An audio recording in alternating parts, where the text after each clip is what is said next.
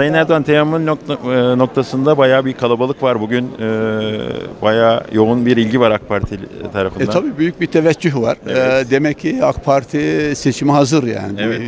E, 40 tane aday var. 40, 40, 12 40 kadın adayımız adayımız var. var. Kadın Neler adaylarımız bol. Valla ben öncelikle bu seçimlerin hayırlı olmasını temenni ediyorum. E, demek ki AK Parti bu seçime çok e, önem veren bir parti olduğunu bugün bu temayül yoklamasını göstermiş oldu.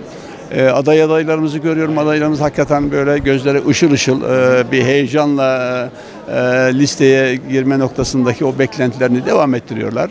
Ben e, bu seçimlerin e,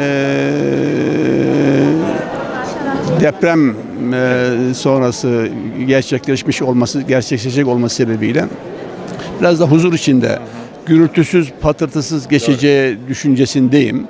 İnşallah öyle olur. AK Parti zaten bu konudaki hassasiyetini ortaya koydu. İşte müziktir, e, sesleri vesaireleri olmayacağını söyledi. Diğer partiler de e, bu kurallara riayet ederse biraz daha böyle kutuplaşmadan e, uzak bir seçim e, çalışması e, yapılır. Benim temennim, görüşüm, düşüncem şu. Hakikaten biz birinci yüzyılın bu son çeyreğinde Türkiye büyük atılımlar e, yaptı. İç politikada, dış politikada e, çok güzel e, sonuçlar elde ettik. Bu gelişmelerin devam etmesi bakımından yani temennim Cumhur İttifakı'nın tekrar iktidar olması, bu kazanımların terör belasının ortadan kaldırılması dahil devam etmesi noktasında e, güzel çalışmaların yapılması, yapılacağı yani daha da gelişeceğimiz, daha da kalkınacağımız, büyüyeceğimiz e, noktasındaki ümit, üm, üm, üm, ümidimizi. E tabii şey yol bitmez. Yani yol yolun bitmesi demek e, ümitlerin heyecanın bitmesi e, demektir.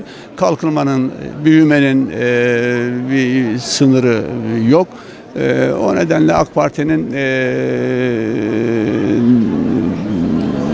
parti olarak içinde bulunmuş olduğu Cumhur İttifakı'nın e, bu seçimlerde bir favori e, bir ittifak e, olduğunu e, düşünüyorum ve bu temennilerle seçimin bu çalışmaların hayırlı olmasını diliyorum. Çok çok teşekkür ediyoruz. Ben de teşekkür ederim.